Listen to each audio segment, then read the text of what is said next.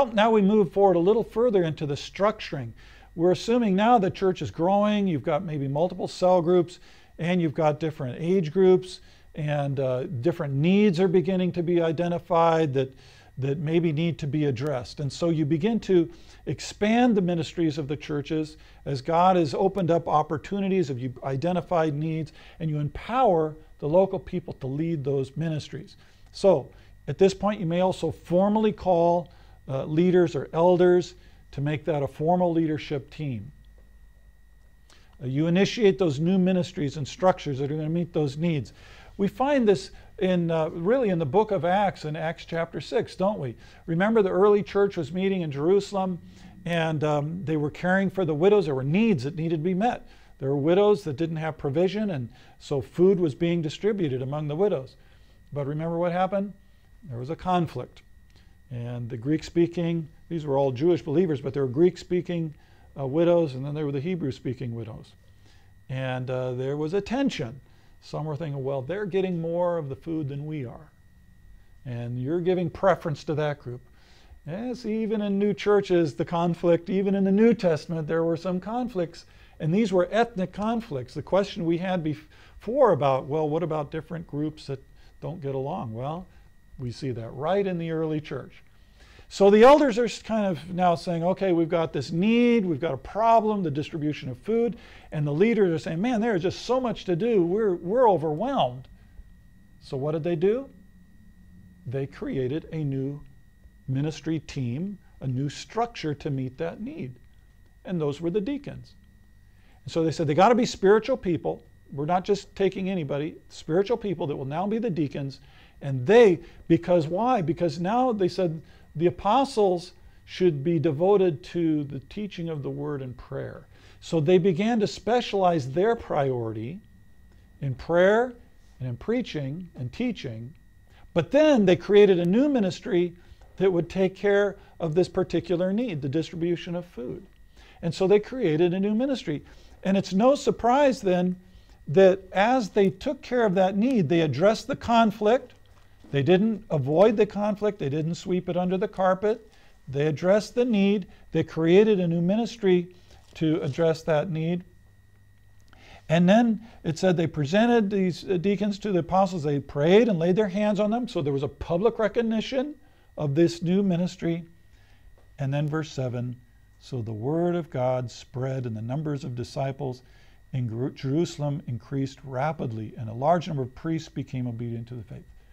And I think in the book of Acts, we keep seeing these statements about how the church grew and the word of God spread. This is one of those points. And, and I believe Luke puts those little growth statements at very strategic points as he's telling the story. And I think right here he's making a point that when the church addresses the needs, when the church finds new ways to meet those needs, when the church has both the priority of prayer and teaching the word, as well as meeting people's physical and emotional needs, and creates a structure to do that, God put his hand of blessing on the church, and the church grows.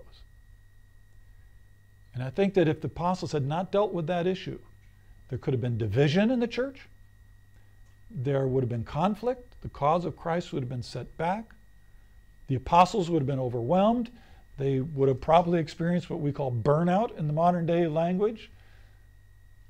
But they found a way, God led them to create new structures. And this is what can start happening at this phase of the church. Things are growing and the leaders are feeling more and more the burden of, of ministry growing and the needs of the people. And finding those new ways, so whether it's deacons or it's a new ministry team or whatever that is, you create those and you train up the people to do it.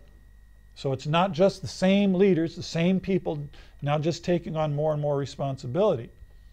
And as new people are coming in, you're assimilating those new people into the life of the church.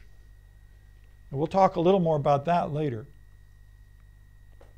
Evaluate how is the church developing? Are we developing in a healthy way? Sometimes things are happening so quick that we don't have time to sit back and evaluate where the needs? Are we developing healthy what do we need to address? And in some places, you will organize the church legally at this point. You have installed leaders that are recognized leaders, you have a structure. And so it may be at this point you say, we will officially organize, register with the government, um, whatever the appropriate way of formalizing the existence of the church is where you are. And the goal here is to have full financial autonomy. So if this church was somehow being financially subsidized, or maybe there were uh, foreign funds coming in, maybe there was a, a missionary uh, or a church planter that was being supported by another church. The idea here is to develop that church to where it's able to financially be autonomous. Why? Because as long as it's still dependent, it's not going to really be in a place to start new churches. They're still receiving help. How can they really begin to launch others if they're still dependent so the idea here is, again, local sustainability so that then they can begin to launch others. So here the role of the church planter becomes multiplying. So I'm training others who then can train others to do ministry because these ministries are beginning to expand. And so many churches reach a bottleneck in their growth because they have not learned how to mobilize new workers and they've not learned how to create new ministry and ministry structures to meet people's needs. If you have a church where people have needs, so whether the widows who are not being, being served properly, or whether they're um, other spiritual needs or emotional needs in the church that are not being addressed, the church is going to suffer. So that's going to be the critical feature at this phase. Well, now we kind of come to that point where we talk about multiplying. Now remember what we said multiplication of disciples, leaders, cells, that is hopefully going along the whole way. Uh, so now we're talking about multiplying the church and really reproducing churches, not just disciples, leaders, and cells. So now strengthening and sending is the idea. So we want to sustain evangelistic thrust. Many times a church plant, it's a lot of work. It's hard work. And you've got a lot of new believers now, and these new believers, they come with all kinds of issues and concerns and, and maybe counseling, and so you're investing more and more energy in caring for the believers. And what can happen is a couple of things. One, the energy now becomes inwardly focused, so you lose your evangelistic thrust outward. Now, sometimes there's a season in the life of the church where you have to focus on the needs of these new believers because they're overwhelming. But you can't let it stay there. You've got to come to that point where your outward focus happens again. That's one thing, the inward focus. The other thing is you can become comfortable and say, We've worked so hard to get this church going, and now we've finally got you know, our ministry going, we're finally paying our bills, we finally got a place to meet. and so you sort of sit back and just say, let's let's just keep the sheep in the pen happy. Let's just keep the ministry going um, and you're kind of getting tired, you don't have the energy to say, let's start something new. That's going to be a danger. And so sustaining that momentum and outward focus is going to be a key here. Preparing that church for reproduction. Where would be that location? You know what we did when we started some of our churches? When we started in Ingolstadt, for example, uh, the church we were planting, when we had our very first leadership weekend where where we hadn't even started Sunday services. We were just had building our team. Already we were praying and saying, God, where might be our first daughter church? People are going, what? We haven't even started this church yet. How, you now you're talking about starting another church already. I said, well, yeah, this is just a vision, but where might God have us start another church? And so I said, well, the next city up the river is Neuburg on the Donau, on the Danube River. Okay, well, someday maybe God will open that door. So we just kind of had that as a goal. Later on in the church, it was actually after I left, they started a daughter church in Neuburg. But see, the seed had been planted way back in the beginning. And an interesting thing happened. I had mentioned that we'd done evangelistic efforts and we did a tent evangelization, and, and there were a number of people who came to the Lord. Guess what town some of those first believers came from Neuburg. So early along, we'd been kind of praying about that.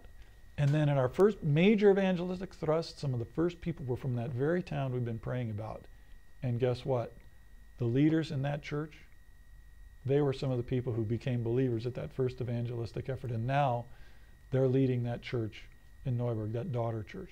And so sometimes you plant those seeds very early along, and then you let, in God's timing, in God's working, that door open up. And this is where that can happen in that phase. So the role here is to be then that multiplier to the memory where eventually the church planter either moves on or takes a, a role of facilitating reproducing more churches in that area. Let me just uh, mention one more thing uh, in conclusion of this section on developmental phases, and that is to emphasize the different spiritual gifts that are required for these different phases.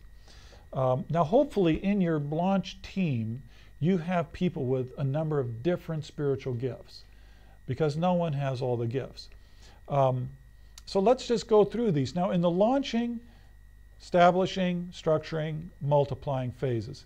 And then, of course, as you launch a new church, that starts a new church all over again. In launching, you need people who are evangelists and they have that apostolic kind of gift which is uh, not like the 12 apostles, but sort of that pioneering leadership, visionary. I need to build an, a, on no other man's foundation. I want to preach Christ where he's not been known. You need those kind of people, and you need at least some that have some gift of evangelism. Why? Because that's how you build the church. And if you don't lead people to Christ, there's nobody to disciple later, and there's no church. So you need evangelist, apostle type people. But as you begin to gather, then it becomes more important to have that teacher, the counselor, because people are new believers, they have these needs, they come from broken families, they have addictions, and they don't know what it means to live as a Christian. They've got all these personal issues. I mean, that's what happens when you lead a lot of unbelievers to Christ. They come with all their little personal issues, right? And so the problem is, evangelist apostle types, they're saying, hey, let's go win some more people for Christ. Let's go conquer a new mountain.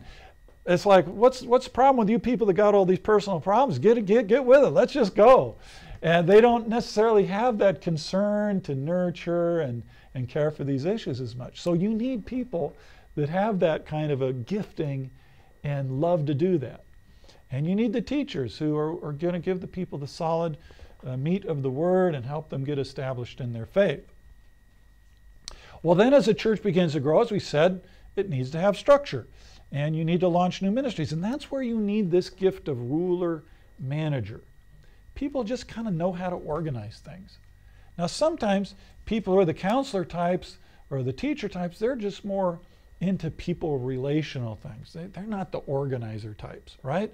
But you need those people who know how to structure things, how to do budgets, and how to how to um, uh, just do what needs to be done to expand ministries in a meaningful way. Well, then when you get down to launching again and multiplying and starting a new church, then you need the evangelist apostle type again. Now, here's my observation, and I've seen this unfortunately over and over again. Because the lead church planter doesn't have all the gifts, the church will tend to, to stay wherever that person's gifts are. So if that person is really an evangelist apostle type, it doesn't really get to a real strong church because you don't have the gifts of teaching and counseling and helping people grow strong in their faith. And people become frustrated after a while because they say, We've got these needs, and, and that person just wants to go out and evangelize and start new things. And but we have needs that aren't being met. And then there can be a tension and frustration in the church. Or the other thing can happen. The church planter is really more of a teacher, counselor.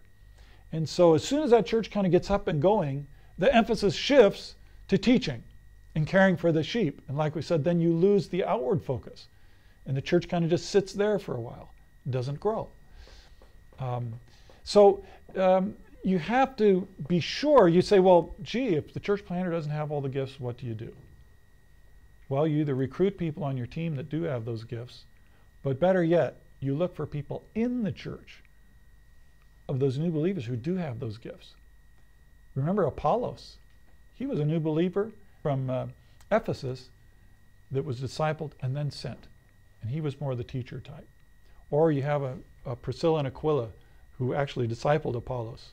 Now, Paul didn't do that. Um, and so he had those kind of people on the team that could do that type of discipling. Have you benefited from our teaching ministry? Have you found TVS videos helpful and relevant? Please consider supporting us with your prayers and financial gifts. For more information, visit tvsseminary.com. So here's a few questions for you to be thinking about as application. Examine the various phases of your church where its development is and discern where it's at. What steps are necessary to take your church to the next level? Has it gotten stuck at one of those points and is not really developing further to be healthy and to be reproducing?